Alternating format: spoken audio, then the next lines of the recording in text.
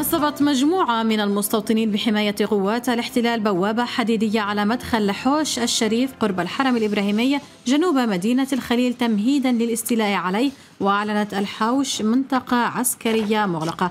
حول هذا الملف متابعينا يسعدنا. أن نستضيف السيد غسان الرجبي مدير الحرم الإبراهيمي الشريف. سيد غسان أهلا ومرحبا بك. أهلا وسهلا بكم. أهلا بك. يعني آه، الاستيلاء على هذه المنطقة التي هي بالقرب من الحرم الإبراهيمي الشريف تندرج ضمن أشكال التهويد المتتابعة بحق الحرم الإبراهيمي بحماية جنود الاحتلال المنتشرين والمدججين بالأسلحة آخرها هذه البوابة وما سبقها من اعتداء واستيلاء على بيوت المواطنين بالمنطقة عنوة. تداعيات استمرار هذه الانتهاكات بحق الحرم ومحيطه بما فيها السيطرة على منازل ومنشآت المواطنين. بسم الله الرحمن الرحيم والصلاة والسلام على أشرف الخلق والمرسلين. بكل تأكيد أصبح التغول الاحتلالي واضح لدى الجميع في البلدة القديمة في مدينة الخليل قبل عدة أيام قام الاحتلال بالاستيلاء على بعض المنازل واليوم يقوم بالاستيلاء على آه، أحواش ومناطق بالكامل في داخل البلدة القديمة في مدينة الخليل. وكذلك هو مستمر في آه، آه، الحفريات في محيط الحرم إبراهيم الشريف وكذلك مبنى الاستراحة الذي قام ببناء طابقين على هذا المبنى تمهيدا لإقامة حفلات صاخبة وكذلك مطعم وكذلك تهيئ الظروف المناسبة لاقتحامات المستوطنين في محيط البلدة القديمة نعم. هناك مخطط لدى الاحتلال أصبح واضحا الاستيلاء الكامل على آه، البلدة القديمة في مدينة الخليل والحرم الإبراهيمي الشريف كل ذلك يأتي في الإطار آه، الممنهج لجرائم الاحتلال في محيط البلدة القديمة خاصة أن في الآونة الأخيرة أن الاحتلال الإسرائيلي شرع في بناء المصعد الكهربائي وهو يلوح في مسار سياحي في ساحات الحرم الإبراهيمي الشريف. وكذلك العبث في الآثار الفلسطينية والإسلامية في محيط الحرم الإبراهيمي الشريف الذي نخشى ما نخشاه.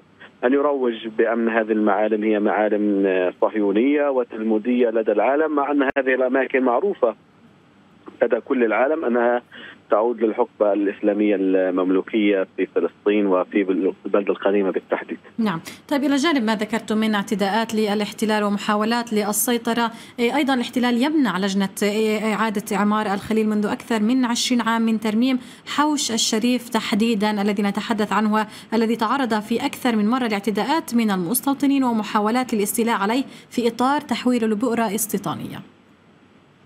يعني البلدة القديمة في مدينة الخليل تعيش في ظروف استثنائية وكذلك خطة ممنهجة منذ احتلال الإسرائيلي 67 لهذه المدينة.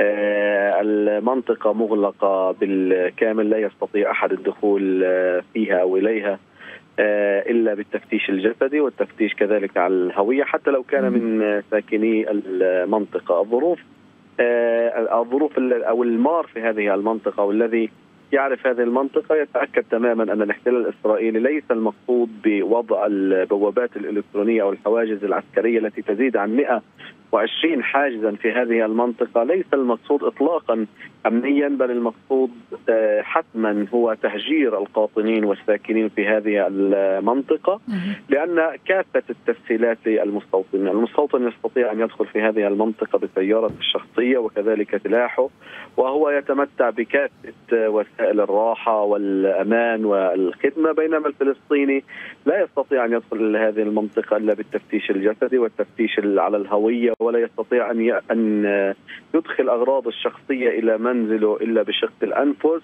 وكذلك إلا بحملان أغراضه على أكتافه.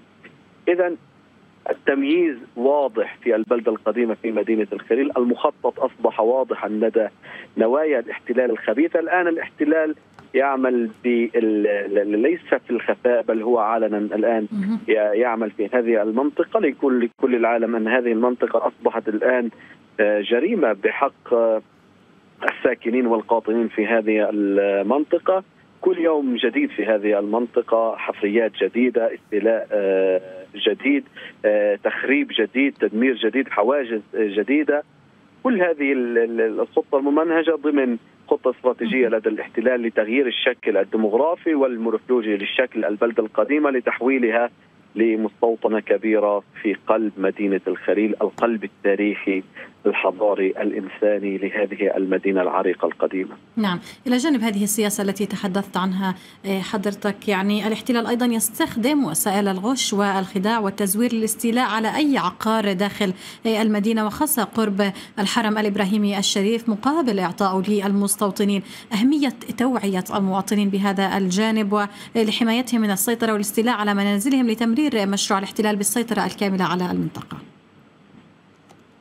الاحتلال الاسرائيلي لا يألو جاهدا لتغيير أي معلم في هذه المنطقة التاريخية الإسلامية الحضريه الحضريه ومعروف عن مدينة الخليل منذ التاريخ أن هذه المنطقة وهذه المدينة هي مدينة آه، عمرها المسلمون وهذه الحقب التاريخية كانت فيها لمسات آه، واضحة، الاحتلال الإسرائيلي يعني في هذه المنطقة يستغول استغوالا كبيرا للاستيلاء على المنازل بكافة الطرق بكافة الوسائل. نعم. آه ومن ضمنها تزوير الأوراق وكذلك تهديد بعض المواطنين. كل هذا وإغراء البعض الآخر. كل هذا يأتي في إطار هي آه، تنفيذ مخطط استيطاني لعين في محيط الحرم الإبراهيمي الشريف والهدف هو كذلك الاستيلاء على قلب مدينة الخليل ودرة تاجها الحرم الإبراهيمي الشريف. الذي يجري في داخل الحرم الإبراهيمي الشريف أصبح ملحوظا لدى العيان الآن يمنع الأذان بشكل سنوي ما يقارب 700 وقت. البوابات الإلكترونية التضييق على وزارة الأوقاف كذلك بالإدخال الحاجيات اليومية. نحن نتابع بمعية معالي وزير الأوقاف ومجلس الوزراء وفخامة الأخ الرئيس ما يجري في داخل الحرم الإبراهيمي الشريف والبلدة القديمة أولا بأول أن الانتهاكات والجرائم التي أصبحت يومية وبشكل ملحوظ وبشكل متتابع ليلا ونهارا هم هم هم يعملون كذلك بالليل. لا يألون جهدا للسيطرة على هذه المنطقة. كالسارقين يسرقون بالليل ويدمرون بالليل ويعملون بالليل. كل هذه الوسائل الآن أصبحت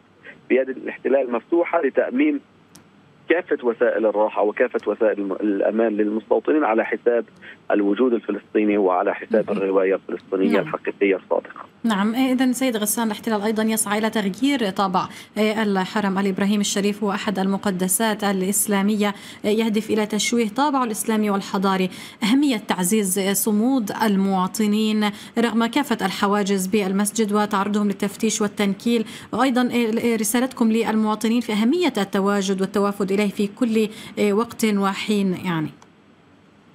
في كل صباح فجر الجمعة يدعو عوائل مدينة الخليل ولجنة حماة الحرم وكذلك وزارة الأوقاف والشؤون الدينية لتأدية الفجر العظيم الذي يأتي إلى الحرم الابراهيمي الشريف آلاف المواطنين. وهذه رسالة واضحة لكل العالم أن هذا المكان هو مكان إسلامي.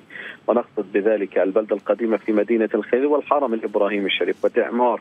هذان المكانين هو آه، بكل تأكيد رسالة واضحة لكل العالم خاصة أن هذا المكان هو على لائحة اليونسكو منذ 2017 محمي إسلامي خالص لا يشارك الفلسطيني فيهم أي أحد ولا يقبل القسمة على اثنين. هناك حملات كذلك آه، نعمل آه، عليها منذ فترة زمنية وتعزيز كافة أيام الأسبوع. ومن ضمنها كذلك يوم السبت تحت عنوان نساء في ضيافة إبراهيم. كل يوم سبت عائلة جديدة في داخل الحرم الإبراهيمي الشريف. هناك كذلك فعاليات لإنارة الغار بشكل يومي. آه، كذلك هناك فعاليات لعقود الزواج في داخل الحرم الإبراهيمي الشريف بالإضافة إلى تخصيص آه، واعظات آه، للدروس الدينية في قلب الحرم الابراهيمي الشريف وارقه وساحاته ودروس يومية للنساء وكذلك مواعظ ودروس خاصة للرجال بشكل يومي وكذلك تحفيظ القرآن الكريم. كل ذلك يأتي آه، في تعزيز صمود المواطنين في داخل البلده القديمة وكذلك لتعزيز التواجد الفلسطيني وتأكيد على الرواية الفلسطينية الصادقة في إثبات هذا المكان وإعلاء هويته الفلسطينية والإسلامية لكل العالم. نعم يعني جهودكم مباركة في حماية الحرم الإبراهيمي من تهويد من قبل قوات الاحتلال. مدير الحرم الإبراهيمي الشريف السيد غسان الرجبي أشكرك جزيلا على كافة هذه التفاصيل وهذه الإيضاحات.